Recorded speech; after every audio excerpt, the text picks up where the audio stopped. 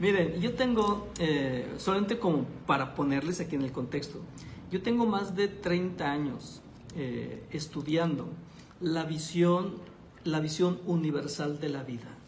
Si yo pudiera explicar en qué me, he especializado en esta vida, yo lo puedo decir ahora, le puedo poner palabras. Yo me he especializado en aprender eh, a darle esa visión universal a las cosas.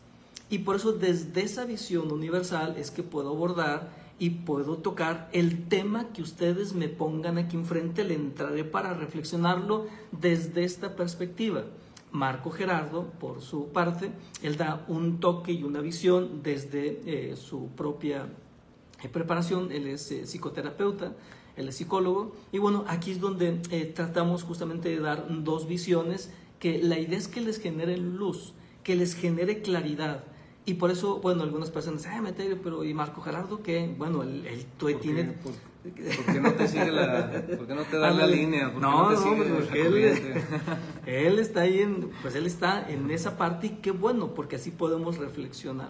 Entonces, por eso decía eh, que sí, eh, los puntos, los temas que vamos abordando, considero, así lo, así lo veo, eh, pueden, abordar, pueden aportar a tu vida ese toque, esa visión o esa manera que tú a lo mejor ya te hacías en lo interno y ahora ya escucharlo dirás, claro, es que afino bien y lo nutres, lo enriqueces, te fortaleces para partir de ahí, ahora sí construir, en este caso, una relación poderosa. Yo sí considero psicoterapeuta Marco Gerardo, lo que sí considero es que en la relación de pareja, eh, con los dos ejemplos que he dado, uno, si el hombre insiste, persiste en llevar a cabo una vida como soltero, con todo lo que implica, no podrá forjar una relación de pareja plena o completa. Eso es lo que yo sostengo.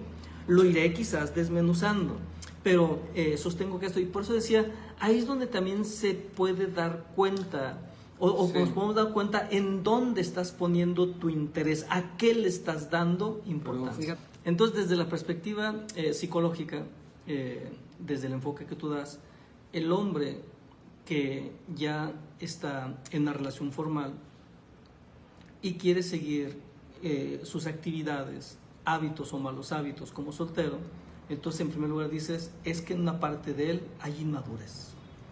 Es decir, es un hombre eh, pues por edad, pero a nivel emocional eh, está atorado en esa parte todavía de jovenzuelo, de que quiere seguir en la dinámica, en los amigos. Entonces por eso dice, a ver, entonces un hombre que tenga eso o que, eh, que haga eso y que defienda eso, tiene un área de inmadurez en su interior. Es un buen punto.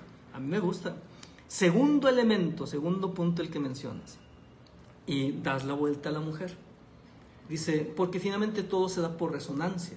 Entonces los hombres que traen ese, ese mecanismo, eh, entonces buscarán una mujer que sea más o menos, y es que así se da a nivel en el inconsciente, que sea muy parecida en aspectos emocionales eh, a mamá. Y entonces buscará, posiblemente al principio no, no será fácil, convencerla, persuadirla, a lo mejor al rato dar el manotazo fuerte en la mesa, lo que haga falta. Pues lo que hacía con mamá igual. Para, exacto, para, para llevarle a que su pareja entre en razón de que él también tiene vida.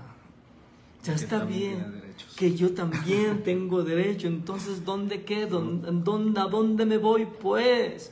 Y entonces ahí es donde me llama la atención la mujer, si no está atenta por no, no seguir los en vivos y no seguir nuestros, nuestros temas y nuestros cursos, ahí se va a confundir.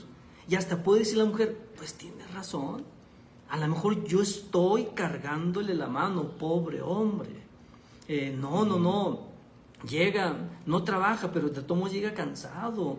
O, anda buscando trabajo, y entonces pues todos cansado. No, entonces ahí es donde empieza el mecanismo de permisividad.